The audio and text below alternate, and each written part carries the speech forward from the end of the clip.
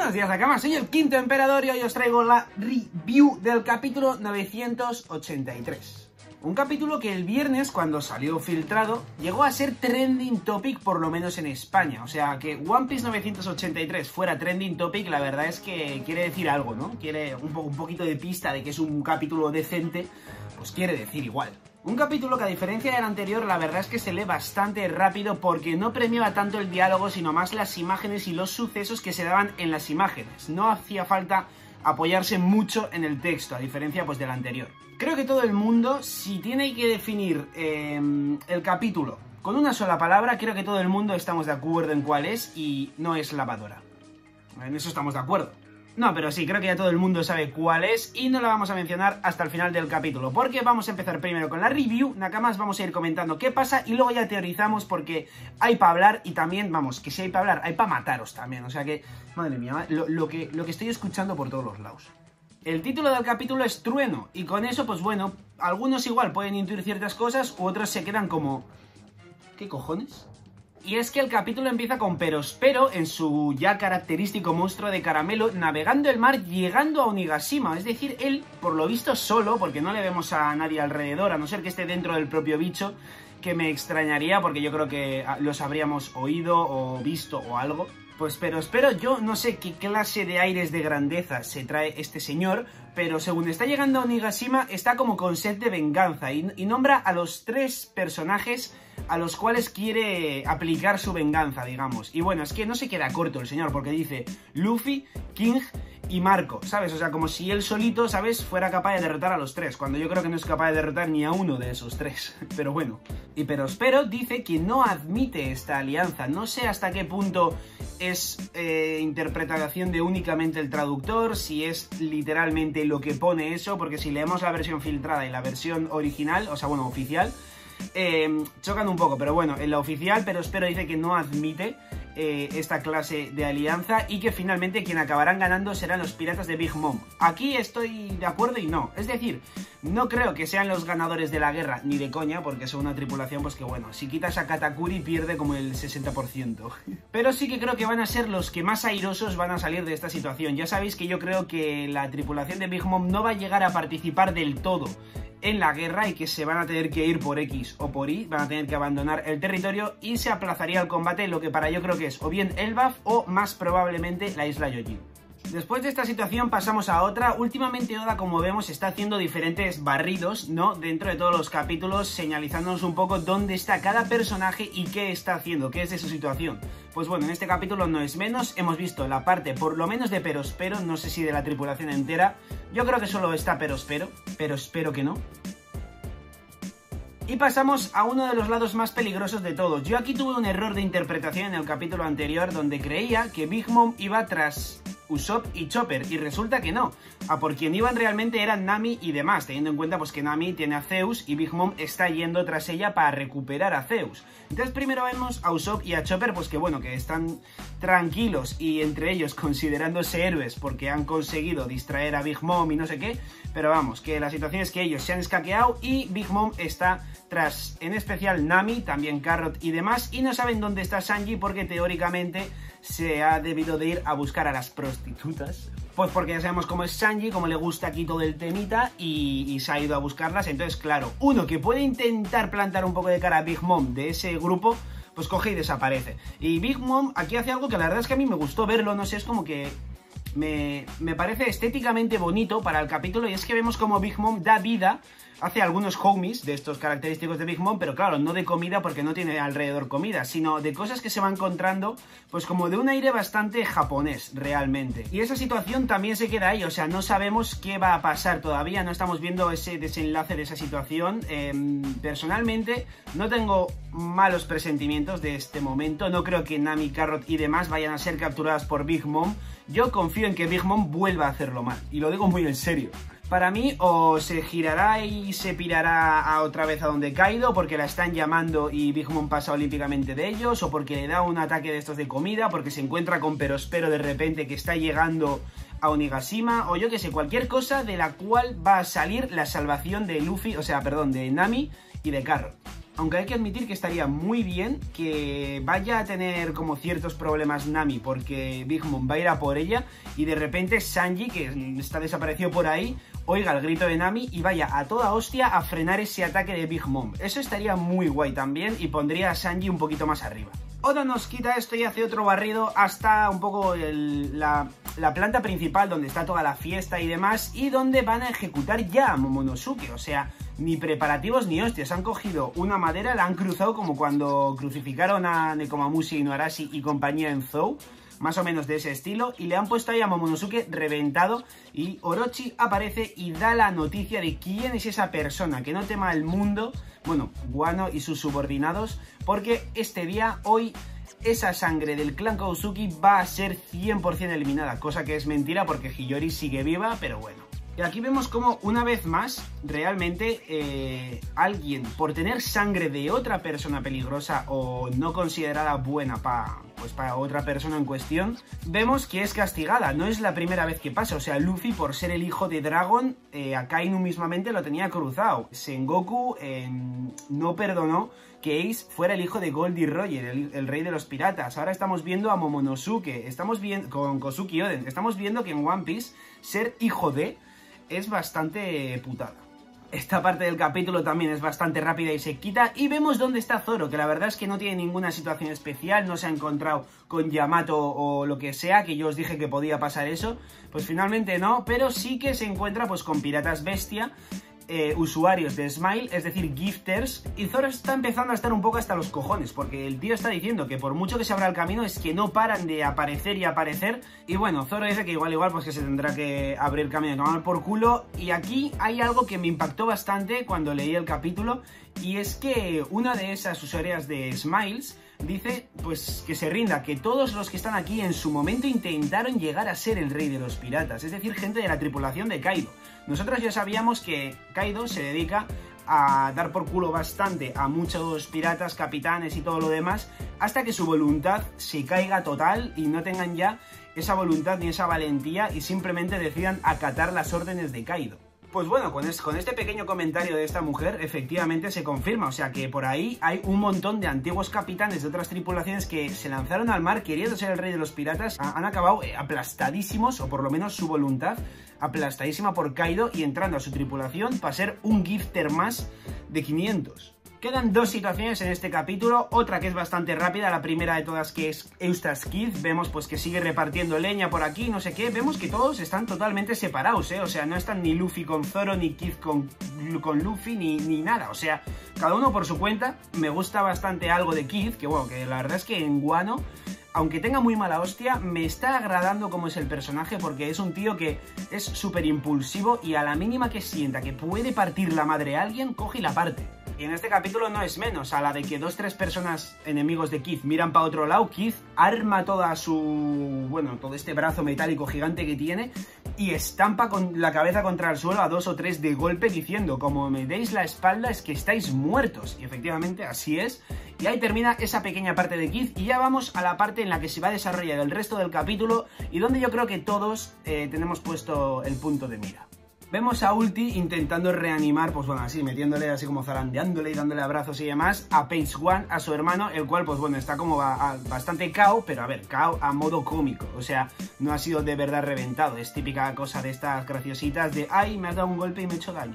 Y Luffy le dice, a ver, o sea, ¿cómo quieres que esté bien? O sea, si te lo has usado de tabla de snowboard, eh, bajando escaleras, ¿vale? estando Ulti encima. Y bueno, aquí Ulti se gira y le pregunta a Luffy, pues que quién es, que se presente, ¿sabes? Que, o sea, pues creyendo que es de algún escuadrón de por ahí de la tripulación de Kaido. A lo que le dicen que no, que Luffy no es del escuadrón de Kaido. Es más, es el capitán de los Mugiwaras y el hombre que se convertirá en el rey de los piratas clásica presentación de Luffy que la verdad es que hacía bastante tiempo que no lo, que no lo decía, pero me encanta porque es que siempre que se lo preguntan a Luffy quién eres, siempre suelta su coletilla, o sea, soy Luffy, el hombre que se convertirá en el rey de los piratas, y me encanta, y hoy lo ha dicho en casa de Kaido. Algo pues que a la señorita Ulti no le hace mucha gracia, le sienta bastante mal, y mientras va como saltando hacia Luffy, pero como cargando la cabeza hacia atrás, le dice que como que el próximo rey de los piratas, que no sabe en qué lugar está. Y entonces de repente no sabemos si con Haki o no, seguramente sí, por mucho que no se vea, no se ve ni en Luffy ni en Ulti, con lo que puede ser que ambos sean ese Haki avanzado que Rayleigh explicó, ese Haki que no se ve. Ambos chocan cabezas de una manera increíble y todo el mundo pues da por hecho que Luffy va a caer derrotado ante ese cabezazo porque por lo visto el poder de Ulti está bastante relacionado con tener una cabeza un poco dura. Hay un choque de hakis de estos clásicos rayos negros que salen, eso sí, no haki del rey, sino pues un choque de haki de armadura bastante intenso que hace que todos los enemigos de la zona pues salgan volando, no caen derrotados porque no es haki del rey, repito. Se separan, por lo visto Luffy sí que sale un poco despedido, pero no ni, ni mucho menos derrotado. Y Page One aquí ya se se levanta, se pone serio y le dice, oye, hermana. Y entonces vemos que los dos se ponen en su... Bueno, Page One se pone en modo... En su modo espinosaurio, creo que es. ¿Eh? Espinosaurio, sí. En su modo espinosaurio completo. Y Ulti se pone en su forma híbrida del modelo... Eh, no me acuerdo cómo se llama el dinosaurio, así que lo voy a buscar porque es muy raro. Paquicefalo paquicefalosaurio, paquicefalosaurio, ¿vale? Igual os suena más si os pongo la imagen y si os digo que es el clásico, el clásico dinosaurio que se da de hostias cabeza con cabeza contra otro dinosaurio. Todos se quedan alucinando de por qué se han convertido en los dinosaurios, a lo que Ulti le dice que se callen, que están ante un rival muy fuerte. Esto me gusta y es que van de primeras con todo, ¿eh? O sea, se preparan porque se han dado cuenta de que Luffy es un tío serio y fuerte. Bueno, serio, en plan, que hay que tomárselo en serio. Cosa que no hicieron muchos como Crocodile, como Gecko Moria, como Rob Lucci, como Flamingo al final cuando Luffy hizo la Gear Force y se rió de su marcha, como Katakuri al principio, como mucha gente que luego ha acabado por Luffy. Luffy se levanta y sí que admite que se ha hecho daño en la cabeza y que se lo tiene que tomar en serio, con lo que coge, hace una postura, bueno, pues que por suerte hay un coloreado el cual lo representa bastante bien, aquí lo tenéis, y vemos que él hace como esa llave para tirarle al suelo, es decir, Luffy ya se ha puesto serio. Luego aparece Page One que intenta devorarse ahí a Luffy de un bocado, lo consigue esquivar y de un Yarsado con Haki ahí bien, bien cubierto de Haki el puño, le mete aquí un buen viaje que por lo visto mm, le derrota o igual no le derrota, que le derrotase de un golpe a un Tobiropo sería un poco extraño. Es verdad que Luffy ya debe estar bastante por encima de un Tobiropo porque tiene que estar casi casi ahí cerca de Kaido, ¿sabes? Más que una calamidad, menos que Kaido. Tiene que andar por ahí, con lo que un Tobiropo no puede suponerle muchos problemas, pero tampoco creo que consiga derrotarle de un golpe. Lo que pasa es que eso, no sabemos si le derrota o no porque no vuelve a aparecer en el capítulo Page One. Lo importante ahora está en Ulti. Le pilla a Luffy desprevenido después de golpear a Page One y le agarra pues con sus dos brazos de, de dinosaurios raros que tiene, ¿vale? Le agarra a Luffy y Luffy no puede librarse. Entonces Aquí viene lo chido, Nakamas. Luffy ve que no le queda otra opción y que va a tener que utilizar la cuarta marcha. Entonces, en cuanto va a hacerlo, de hecho dice la palabra Gear Force, pero no llega a utilizarlo, no le da tiempo. Básicamente porque alguien derrota de un solo golpe a Ulti. Viene de repente un mazo con el nombre Trigrama de Trueno, esto en castellano, en japonés ahora mismo no sé cómo es el nombre del ataque, pero de repente sacudida brutal a Ulti que, la deja seca de un golpe. Y de repente vemos que es este tío de aquí, que no tenemos ni la más pajolera idea de quién es, pero que ya de primeras Nakamas, si hacemos una pequeña comparación, vemos que, que tiene un parecido ¿no? al ataque de Kaido, el Diving Thunder, trueno divino de Kaido. Todos los subordinados se quedan alucinando y todos le, preguntan, ¿Yamato? Señor Yamato, ¿qué has hecho? O sea que es Yamato, y sabéis quién es Yamato, ¿no? Nakamas, porque hace dos, tres o cinco capítulos, no sé cuándo, se reveló el nombre del hijo de Kaido, que es Yamato. Entonces aquí ya empezamos a quedarnos un poquito locos, ¿no? Como que el hijo de Kaido ha reventado a alguien que iba a, bueno, a intentar asesinar a Luffy. O sea, ha reventado a alguien de su aparentemente propia tripulación, o de la tripulación de su padre, de Kaido. De repente alguien por ahí dice, capturada Yamato, son órdenes de Kaido directas. A lo que, bueno, pues por lo visto Yamato le suda un poco la polla ese comentario y va a donde Luffy y le dice, tú eres Mugiwara no Luffy. A lo que Luffy le dice que sí y le dice que ha estado esperándole durante mucho tiempo. Y Yamato le dice a Luffy que esté tranquilo, que no tiene intención de hacerle daño, a lo que Luffy le responde que es verdad que había sentido eso, que esta persona no iba con intención de dañar ni nada malo a Luffy. Incluso el propio Luffy lógicamente se queda un poco trastocado. Y el capítulo termina con este misterioso hombre con una máscara un poco demoníaca, que ahora la analizaremos también, diciendo que él se presenta, es Yamato, el hijo de Kaido. Y el capítulo termina ahí, Nakamas. El capítulo termina con un maravilloso y súper bonito mensaje ahí abajo de la siguiente semana habrá descanso, no habrá capítulo. Sí, Nakamas, ahora tenemos que estar ahí, comiéndonos la cabeza durante dos semanas para saber por qué demonios acaba de sacar de este apuro Yamato a Luffy, si es un aliado, si es un enemigo, si va a ser algo, digamos, neutro, que no va ni a apoyar ni a joder. Dos semanas comiéndonos la cabeza, Nakamas. Toda la masa del capítulo, todo lo que se puede hablar está en esta última parte donde no entendemos por qué Yamato ha querido rescatar a Luffy. Y lo que he dicho al principio del capítulo, o sea, bueno, de la review, que es para matar a muchos de vosotros, Nakamas, estáis diciendo que es Oden. ¿Cómo que es Oden? Joder, quinto, tío, pero es que mira las comparaciones que han llegado a internet, o sea, si tienen las mismas cadenas. 1. Oden está muerto, muertísimo, desde hace 20 años. 2. Si Oden estuviera vivo, se carga toda la historia de Guano, todas las razones de por qué a día de hoy Guano está así, todas las razones que tienen de sufrir absolutamente todos los vainas rojas y su hijo Momonosuke y absolutamente toda la historia de Guano en general. O sea, es que se folla Guano como Oden esté vivo y no lo va a hacer Oda porque tiene dos dedos de frente. Y luego aparte, siguiente razón, ese pelo no es de Oden. Otra cosa ya que queramos pensar, Nakamas, es algo un poco más bonito, de, simbólico, digamos, que sí que puede tener relación con Oden y que en One Piece es algo que está muy a pie de la letra y es muy importante, sobre todo cuando tire la recta final de One Piece donde vamos a entenderlo aún más. Y son algo llamado voluntades heredadas.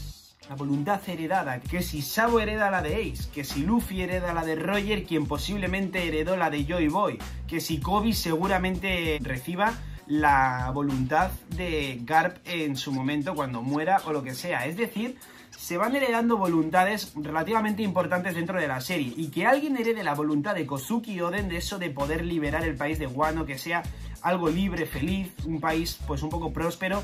No me sorprendería que la haya llevado el hijo de uno que asesinó a Kozuki Oden, el hijo de Kaido podría haber heredado la voluntad de Oden. Eso no me sorprendería tanto. Ahora, que sea Oden, no. Nakamas, no. Otro detalle es el tema de la máscara, que bueno, suponiendo que es el hijo real de Kaido, es decir, hijo biológico, que yo creo que sí, de hecho yo sigo apostando porque es hijo de Kaido y Big Mom, teniendo en cuenta que es hijo, sí que biológicamente hablando deberían ser cuernos naturales, eso que vemos en él, pero si miramos el tipo de máscara que tiene, es una máscara Hanya, que son básicamente estas máscaras que busques la que busques, pues prácticamente el 100% tienen cuernos, obviamente artificiales. Entonces no sé hasta qué punto esos cuernos pueden ser parte de, de, la, de la máscara o realmente parte del hijo de Kaido, que no por ser hijo de Kaido por cojones tiene que tener cuernos. Eso ya no lo sabemos, no sabemos cómo funciona ese tipo de biología en One Piece. Entonces, a saber, para mí personalmente, a mi opinión, es que son de la máscara y él no tiene cuernos. Y ahora sigamos pensando, Nakamas, ¿por qué le ha estado esperando a Luffy durante todo este tiempo? Eso quiere decir algo, eso quiere decir que alguien le ha hablado de Luffy. Y aquí ya empezamos con lo, algo muy característico que suelo hacer yo y que Oda casi nos obliga a hacer y es abrir el abanico de posibilidades. Porque no hay una posibilidad. En One Piece, ¿cuándo va a haber solo una posibilidad? Siempre hay 200. Primera posibilidad, que es la que muchos de vosotros me comentáis, que a mí no me desagrada y no la descarto, pero no creo que sea la más fuerte de todas, pero la voy a comentar, y es que sea Ace quien le ha hablado de Luffy a Yamato. Sabemos que Ace pisó Wano y de hecho no lo pisó hace mucho porque Otama ya había nacido y vimos que tenía relación y demás. Entonces aquí podemos, si exprimimos un poco el coco, puedo daros la razón en eso de que fue Ace quien le habló de, de Luffy a Yamato porque he estado pensando un poquito, hilando cosas y muchas cosas encajan. La primera de todas, Ace tiene una gran relación con Otama, eso sí, y no sé hasta qué punto será rebuscado o no, pero si a Yamato le damos la vuelta es Otama y, y luego ya a la Y, pues bueno, pues que sobra un poquito, pero eso es un poco tontería. La cosa está en que Ace sí que puede haber hecho alguna clase de relación de llevarse bien con Yamato. Al final podemos hacer como un poco un esquema de relaciones entre Otama, Yamato, Ace por ahí y bueno, y juntar cositas, ¿no? Es una opción bastante viable, pero a mí la que más me convence de todas es, y es que me da mucha rabia decir que me parece la opción más viable porque ya va a ser segunda review consecutiva en la que utilizo el recurso de este personaje misterioso pero es que lo veo bastante claro también esta vez. Ya sabéis que a mí, de este hombre de aquí, no me gusta teorizar, no me gusta asignar personajes, pero es que ahora, de verdad, a este sí que le veo muy posible que fuera Yamato. Primero de todo, indumentaria de guano, ¿vale? Motivos obvios, rollo un poquito samurai, el pelo rubio. El pelo de Yamato no sabemos si es rubio, porque se ve en blanco, puede ser de repente un pelo rosa, puede ser azul, puede ser Puede ser cualquier color que no sea de gama tirando a oscura, porque si no lo habría dibujado negro. Entonces vemos que es, pues posiblemente sí que sea rubio, entonces cobra posibilidades que sea este. ¿Y quién le habría hablado a Yamato de Luffy? Pues la persona que está aquí también, Crocus. Entre antiguos nakamas de Roger sabemos que hay mucha conexión, aunque estén a tomar por culo. O sea, Shanks ya le habló a Rayleigh sobre Luffy. Seguramente Shanks haya hablado a más gente sobre Luffy también, incluso otra opción que también no es descartable es que el propio Shanks haya sido quien se le haya contado a Yamato. No sé qué clase de relación podrían tener Shanks con Yamato, a mí la primera que se me ocurre es que Shanks, recordemos que se fue a enfrentar a Kaido y por eso tardó un poco en llegar a la guerra de Marineford. Pues bueno, en ese enfrentamiento, que al final por lo visto no hubo un enfrentamiento porque si no Shanks no habría acabado tan de rositas, puede ser que en ese enfrentamiento estuviera por ahí Yamato y Shanks le hablase de Luffy. Todo esto antes de llegar a Marineford. Es otra opción. Pero a lo que quería llegar, entre la tripulación de Roger hay mucha comunicación, sobre todo sobre Luffy, ¿no? Que estamos viendo, pues yo que sé, que Crocus también puede haber hablado eh, sobre Luffy a Rayleigh, a Shanks o quien sea, recordemos que es una cama de Roger. Entonces, que por una razón u otra Yamato tenga cierta relación también al final, o con los Piratas Rocks, por ser su padre, pues uno de los Piratas Rocks, y tal vez su madre si finalmente viene a ser Big Mom. Luego también, pues bueno, puede ser que tenga relación con esa antigua era en general, de Roger, Shirohige y demás, al ser su padre uno de ellos. De una forma u otra, que al final Yamato tenga esa conexión con Crocus y de ahí que se pongan a hablar. Al final, me parece un poco rebuscado todo, pero es que creo que tenemos que tirar de rebuscamientos, tampoco mega rebuscados. O sea, no me he puesto aquí a comerme la cabeza a hacer un nudo ultra intenso, ¿sabes? O sea, de esta imagen hemos deducido que Crocus le ha hablado a Yamato sobre Luffy y ya está, ya estaba este tiempo esperándole para algo que por lo visto Yamato quiere hacer en Guano seguramente. No sabemos si es asesinar a su propio padre, que de momento a mí es lo que más me encaja. Yo creo que Yamato no se lleva muy bien con su padre, de hecho estamos viendo cómo, cómo Kaido ordena a la gente que esté, que vaya tras su hijo. Es decir, es un tío problemático y muy fuerte, o sea, se ha derrotado a un tobiropo de un golpe. Entonces Nakamas creo que Yamato durante estas dos semanitas va a dar mucho que hablar, mucho que teorizar. Mañana os recuerdo que vamos a hacer un directo en el YouTube morado hablando del capítulo. Los lunes es tradición hacerlo. Y de ahí estoy segurísimo que entre yo y los comentarios que aportéis vosotros, Nakamas, va a salir mucho de lo que hablar porque siempre salen cositas muy interesantes cuando hago este directo e interactuamos todos. Así que Nakamas, hasta aquí llegaría esta review. Mañana podremos debatir muchísimo más y que se nos vaya a la cabeza sobre este personaje Yamato, quién le habrá hablado eh, sobre Luffy a Yamato, qué va a hacer Yamato en Guano, todo esto y mucho más seguramente mañana Nakamas y bueno, y durante estas semanitas. Muchas gracias Nakamas por estar aquí en esta review del capítulo 983. Regaladme un likecito y, y sobre todo suscribíos si todavía no lo estáis Nakamas. Y nada, muchísimas gracias por acompañarme en esta aventuraza Nakamas. Un saludo Nakamas y hasta mi próximo vídeo.